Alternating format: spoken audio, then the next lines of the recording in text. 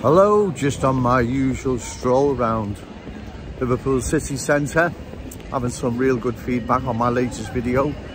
You see, people ask me, well, what can we do at the moment, Joe? Well, there's not much really you can do except make a mental note of what I'm saying and be prepared for when you can do something.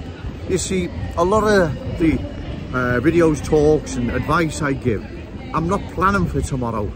This is could be years ahead, it could be 10 years ahead, it could be 20 years ahead, I don't know. It could be five years ahead. But trust me, you've seen nothing yet, right? What's going to happen in this country. You've seen nothing.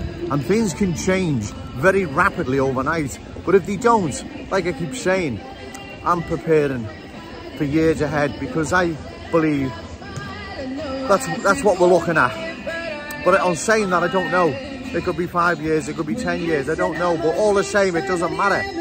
That's what I'm planning for. I'm planning for uh, ahead.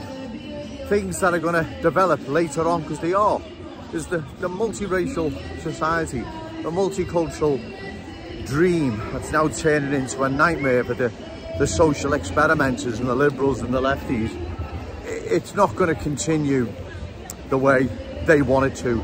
It's going to come off, the wheels are going to come off the track soon. It's just, it's just a case of uh, when and not if.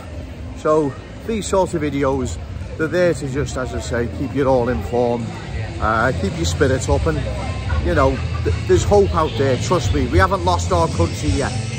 Okay, thanks.